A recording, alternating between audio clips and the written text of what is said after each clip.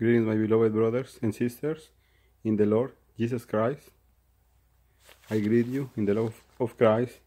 Today I'm gonna be talking to you about the, the origin of the Most High God. I'm gonna be using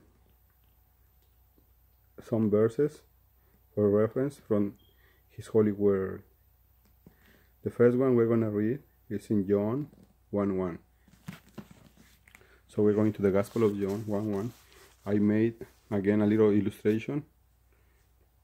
I know that I'm not supposed to because God doesn't want us to make images of Him, or anything that is in, in the heavenly, but I made this illustration to make it um, understandable and trusting in the blood of the Lamb to forgive me and cleanse me from this uh, from this act of me breaking a commandment. So this is what John 1 1 tells us. I'm talking about the origin of the Most High God. And it says, In the beginning was the Word. The Word means the Lord Jesus Christ. That would be Jesus Christ, the little one. And the Word, Jesus Christ, was with God, Jehovah. So the bigger guy right there would be Jehovah. This little one would be Jesus Christ. And then it says,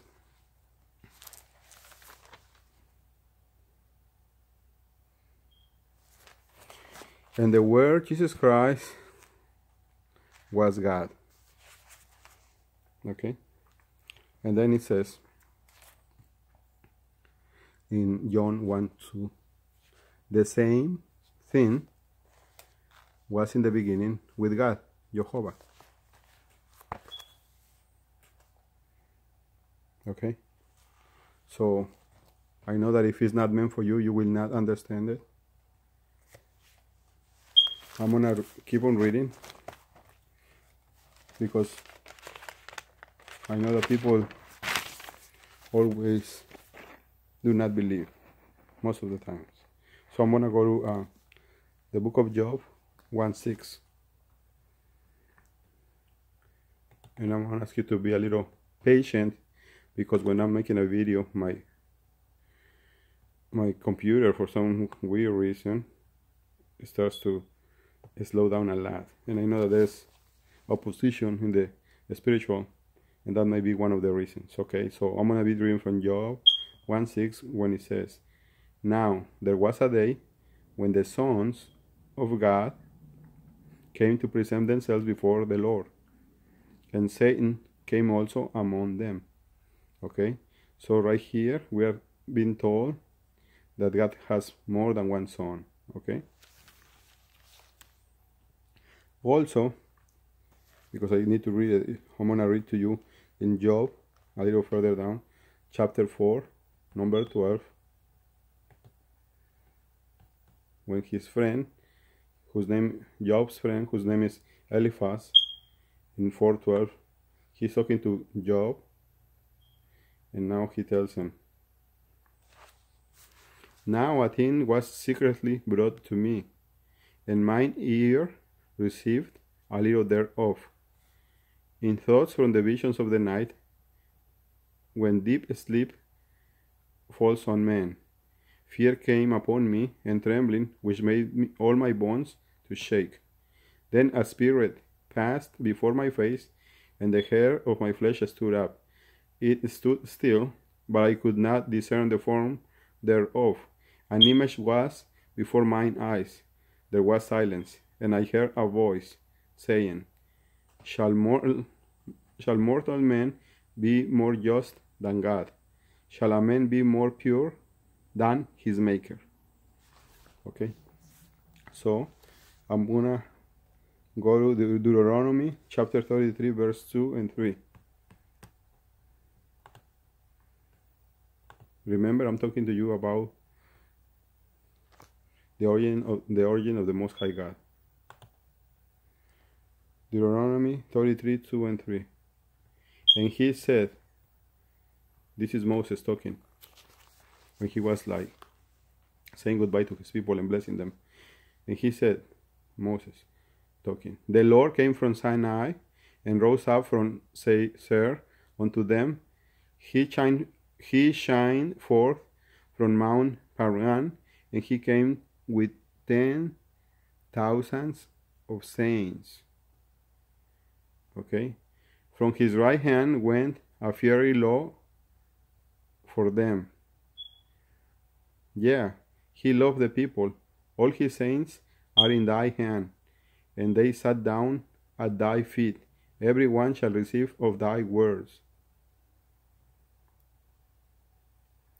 Moses commanded us a law, even the inheritance of the congregation of Jacob.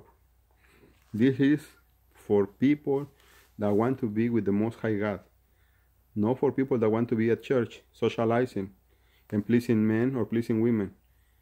Even in churches that have up to 50,000 or even 200,000 members, and people have replaced a pagan god made of brass or stone with one that is made of flesh and bone.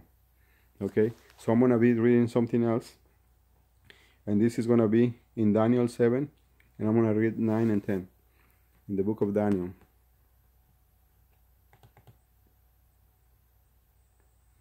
And this is when our brother Daniel is shown when the Lord Jesus Christ is gonna be crowned. So is Daniel what did it say? 7, 9, and 10. Daniel 7. Just give me one second.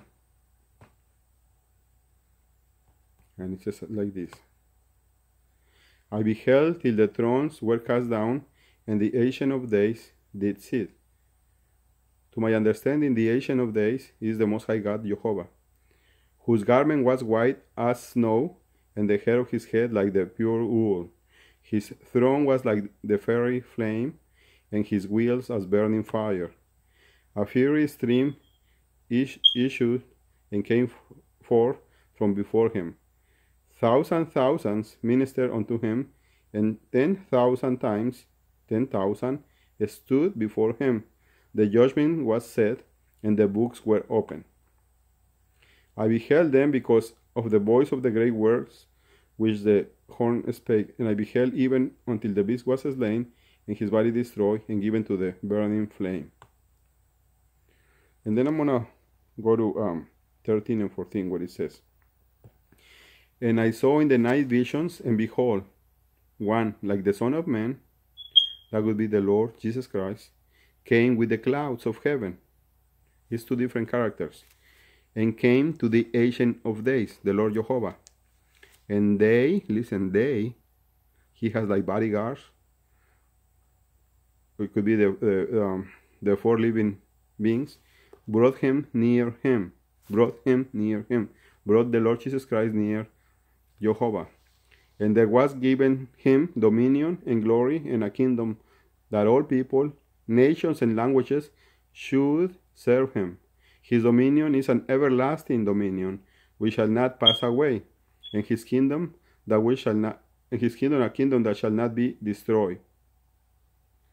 So right here we can uh, see when Daniel was a witness of the crowning of the Lord Jesus Christ. Okay, when he reached the same level as the Father, and he got his own dominion. And you may say many different things, but I'm gonna just read one thing uh, from the book of Exodus 7 1. If you want, please go to Exodus chapter 7, verse 1.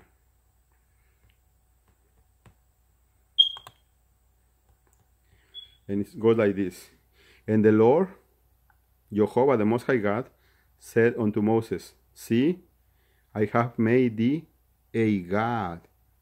Did you hear me? A God, G O D, to Pharaoh. Pharaoh was the king of Egypt. Pharaoh is just a title, but it means king. So, actually, Moses, our brother Moses, was made a God over Pharaoh and over his kingdom. So, God is in the business of making gods. Of course, He's not going to make everybody a god. It's going to be a handful of people. Probably I don't know, in the hundreds or even the thousands, but I don't think it's more than that. Okay, I know that you are gonna have your own opinion. I'm gonna ask you to go with me to Revelation 319 and 321. And that's gonna be my last verse. Revelation chapter 3 well I'm sorry. Let me read to you chapter 1 and I read this all the time in the, my different videos. And it says the revelation of Jesus Christ this revelation belongs to the Lord Jesus Christ which God gave him. Clearly we can see that there's two different characters right there. Jesus Christ and God. The revelation of Jesus Christ which God gave him.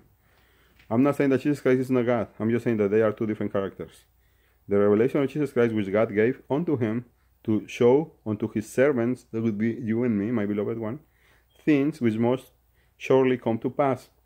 And he sent and sanctified it by his angel unto his servant John. Okay, so these words I'm going to tell you next are not my words. This is from the revelation of the Lord Jesus Christ that God gave him.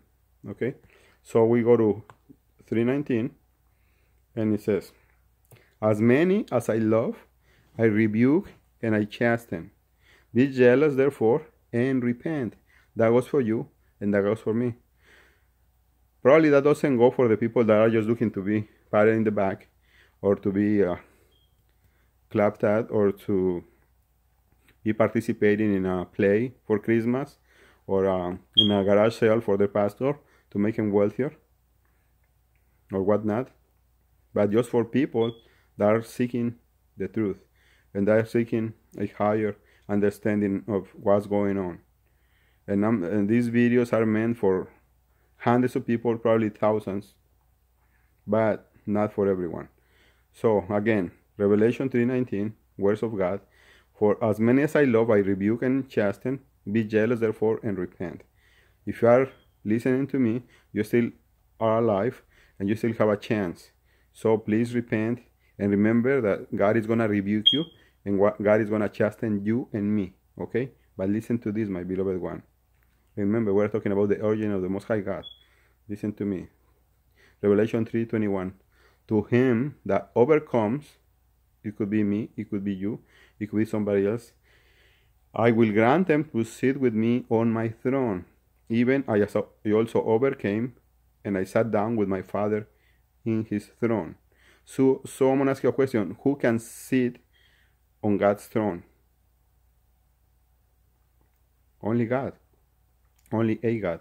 Who can sit at the, the chair of the president in the White House or the palace in your country for the president? Only the president can sit there. And also, you know who else? His children. Or if he's a woman, we have to be fair, her children can also sit on the throne. Okay? So the Lord Jesus Christ is telling us, because that um, creates another problem, but the Lord Jesus Christ is telling us that all the ones that overcome, He's going to give them as a, as a reward. He's going to allow them to sit with Him on His throne, even as also I overcame and sat with my Father on His throne. Clearly, if we believe that it's only that Christ and Jehovah is the same person, we have a problem because then a, a bunch, a greater bunch of people are gonna overcome. It could be a couple of them, it could be a couple of hundred, and they're gonna be sitting also on the same throne. It's not the same throne. It's just that they have achieved the same level of enlightenment. God bless you, my beloved ones. Please share this video with somebody that that you think that might like it or might need it. I I want to ask you for your prayers for our ministry, also for your support. Thank you very much. God bless you, and I hope you make it. Please repent and please uh, preach because we are preaching machines, okay? For the glory and the honor of the Most High God. See you soon in the next video.